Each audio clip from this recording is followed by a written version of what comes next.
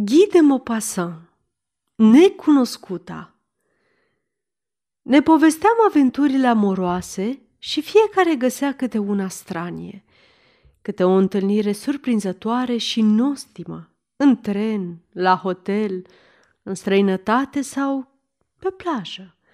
Plajele, după spusele lui Roger de Zanet, sunt foarte prielnice amorului. I se ceru părerea și lui Gontran, care până atunci tăcuse. Tot în Paris e cel mai bine, zise el. Femeia este ca un bibelou. O prețuim mai mult când o întâlnim în locuri în care nu ne-am fi așteptat să o găsim. Dar femei cu adevărat rare întâlnești numai în Paris. Tăcu un moment, apoi continuă. Ah, frumos mai e! Ieșiți într-o dimineață de primăvară pe străzile noastre. Duduițele care se plimbă cu pași mărunți pe lângă zidurile clădirilor sunt ca niște boboci gata să se desfacă. Oh, ce priveliște! Mai mare dragul! Pe marginea trotuarelor se simte parfumul violetelor, al violetelor din cărucioarele împinse alene de florărese – Orașul este vesel, iar bărbații se uită după femei.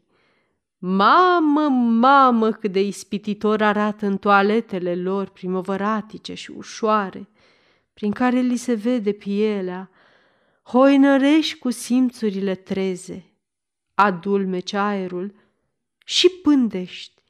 Minunate sunt diminețile acelea. O vezi venind de departe, o deslușești și o recunoști de la o sută de pași pe cea care îți va plăcea și de aproape. O ghicești după floarea de la pălărie, după mișcarea capului, după mers. Cum se apropie, te gândești, atenție, ea e. Și te îndrepți spre ea, devorând-o din priviri. O fi o fetișcană plecată la cumpărături, o cuconiță care vine de la biserică sau care merge la amantul ei? Ce contează? Are pieptul rotund pe sub bluza străvezie.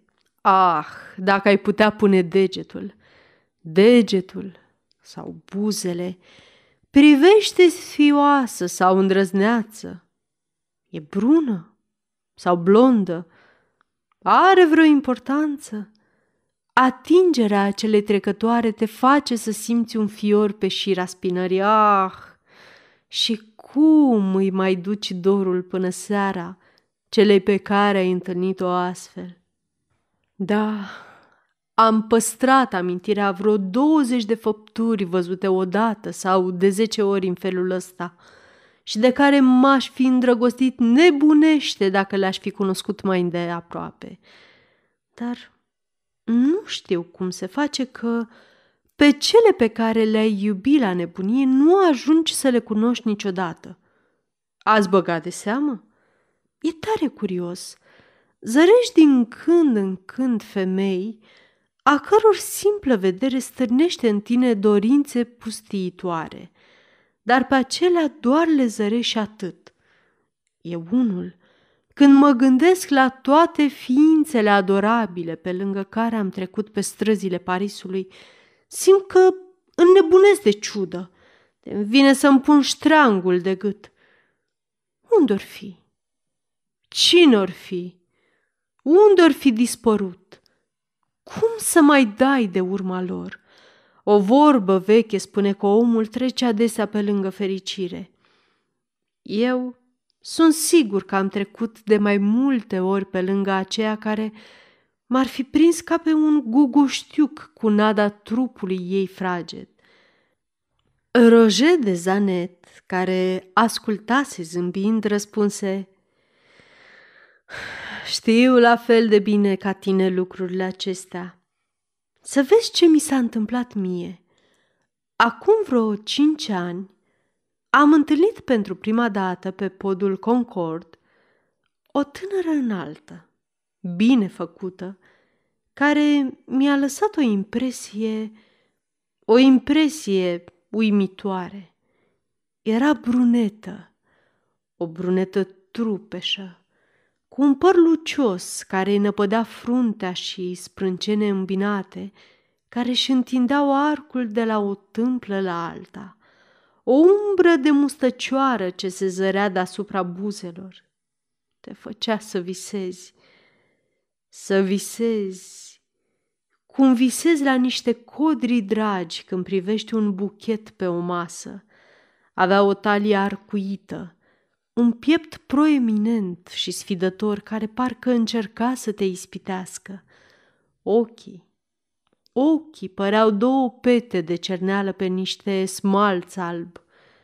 Nu erau ochi, ci niște găuri negre, sfredelite adânc sub fruntea ei și prin care vedeai înăuntrul acelei femei, prin care intrai în ea.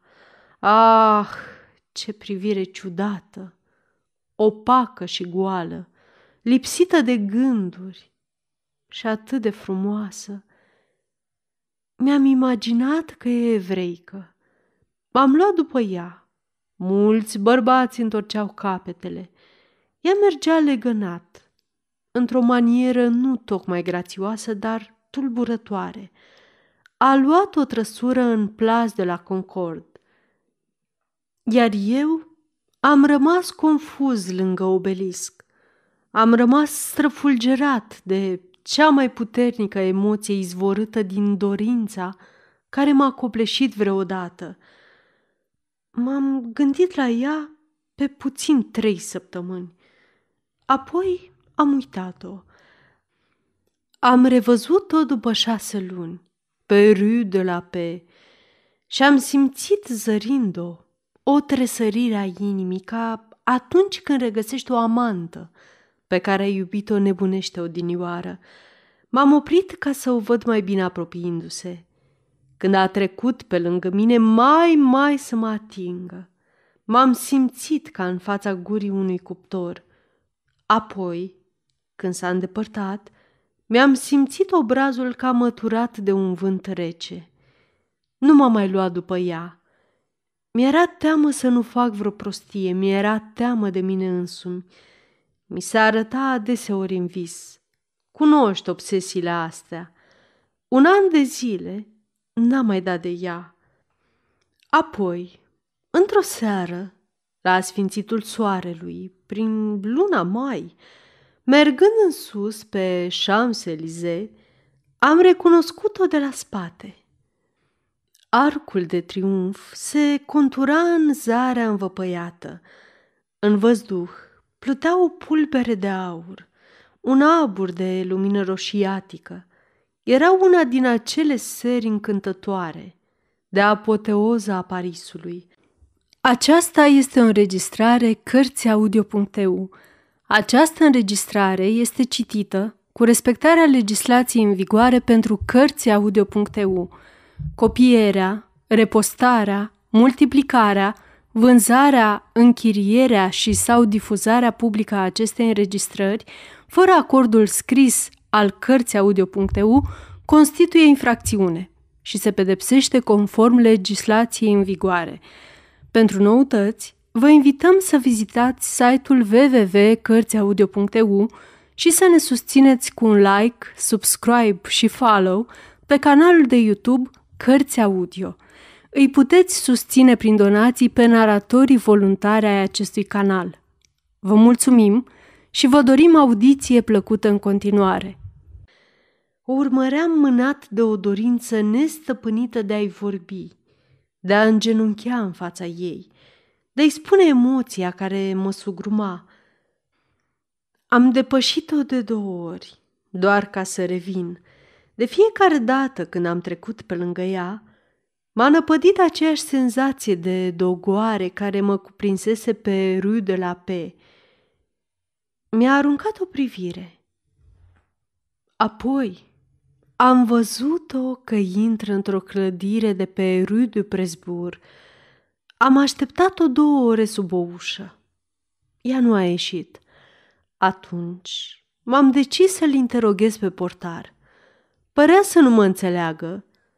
Trebuie să fie vorba de o vizită, spuse el. și am mai stat încă o luni fără să o revăd.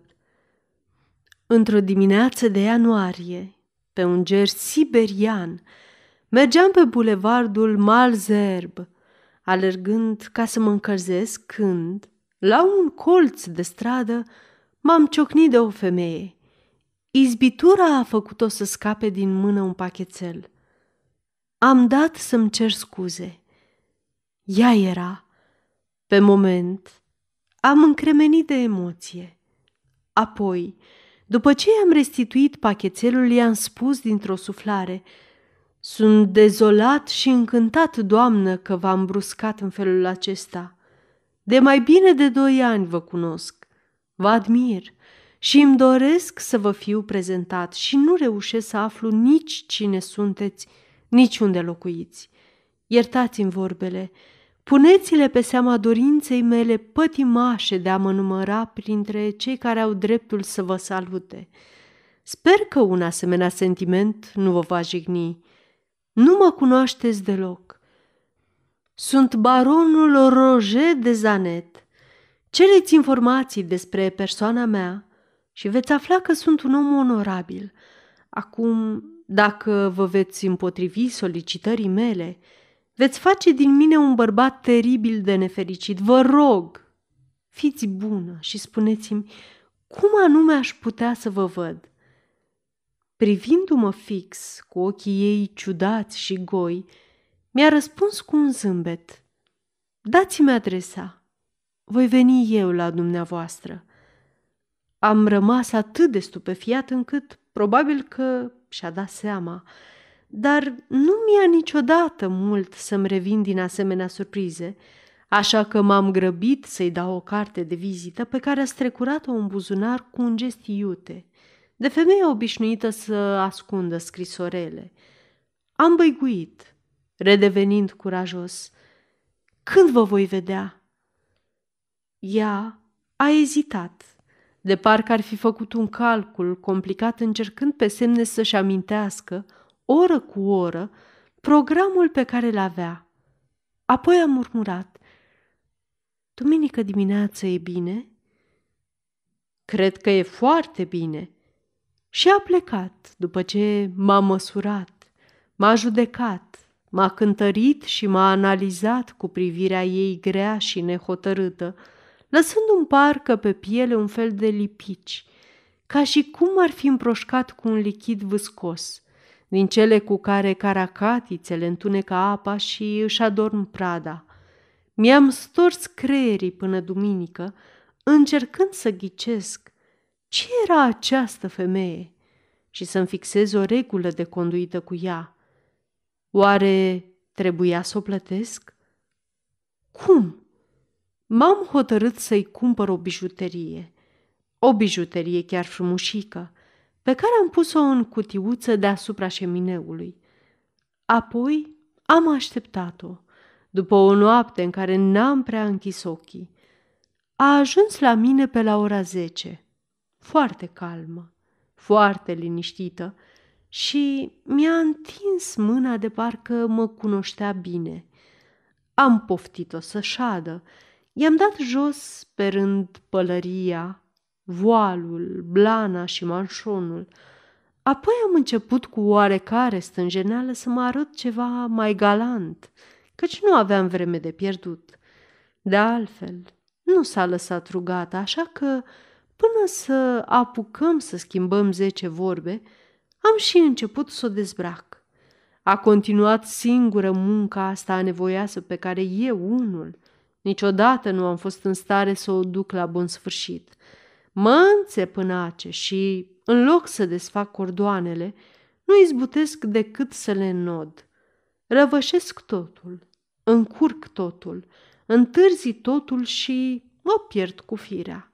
A, dragul meu, știi și tu că nu există în viață momente mai delicioase decât acelea când, discret, de la o anumită distanță, ca să nu stârnești pudoarea de căprioară pe care o au toate, te uiți la o femeie care își leapădă rând pe rând, doar pentru tine, toate stofele foșnitoare ce-i cad roată la picioare.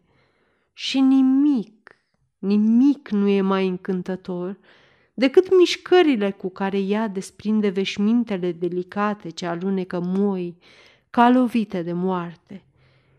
Cât de superbă și de emoționantă e apariția cărnii, a brațelor goale și a pieptului după căderea bluzei și cât de tulburătoare este linia corpului, ghicită sub ultimul văl. Dar iată că, deodată, observ un lucru surprinzător. O pată neagră între umerii ei, căci era întoarsă cu spatele. O pată mare, în relief, foarte neagră. De altfel, îi făgăduisem că nu mă voi uita. Ce putea fi? Nu aveam totuși nicio îndoială, iar amintirea mustății vizibile, a sprâncenelor care îi uneau ochii, a părului bogat și des care îi cuprindea capul ca o cască, ar fi trebuit să mă trezească pentru această surpriză. Cu toate acestea, am rămas stupefiat și brusc au început să mă bântuie viziuni și reminiscențe ciudate. Mi se părea că văd o vrăjitoare din o mie și una de nopți, una dintre ființele acelea periculoase și perfide care urmăresc să-i atragă pe oameni în abisuri necunoscute. M-am gândit la Solomon, care a pus-o pe regina din Saba să treacă pe deasupra unei oglinzi, ca să fie sigur că nu are picioare de țap. Și când a venit vremea să-i cânt cântecul meu de dragoste, am descoperit că nu mai aveam glas, dragul meu. Nici măcar un firicel, pardon. Aveam un glas de cântăreț de al papei, lucru de care ea mai întâi s-a minunat, apoi s-a supărat foarte tare, căci am auzit-o spunând, în timp ce se îmbrăca iute, N-are niciun rost să mă deranjezi. Am rugat-o să accepte inelul pe care îl cumpărasem, dar mi-a spus pe un ton atât de răspicat, Drept, cine mă iei, domnule? Încât am roșit până în vârful urechilor, strivit sub atâtea umilințe, iar ea a plecat fără să mai scoată vreun cuvânt. Asta mi-e toată aventura. Partea cea mai proastă e că acum sunt îndrăgostit de ea și îndrăgostit nebunește. Nu mai pot vedea altă femeie fără să mă gândesc la ea. Toate celelalte îmi repugnă, mă dezgustă. Asta dacă nu seamănă cu ea. Nu mai pot săruta vreun obraz fără ca alături să-mi apară obrazul ei și fără să sufăr îngrozitor de dorința nestăpânită care mă muncește.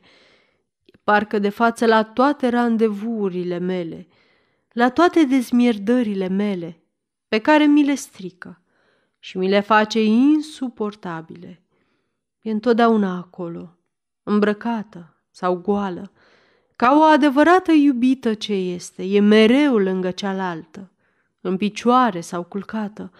O pot vedea, dar nu o pot atinge. Iar acum, cred că era o femeie vrăjită, care purta între umeri un talisman misterios. Cine este? Încă nu știu. Am mai întâlnit-o de două ori de atunci. Am salutat-o, dar ea nici măcar nu mi-a răspuns. S-a prefăcut că nu mă cunoaște. Cine este? O asiatică? O evreică din Orient?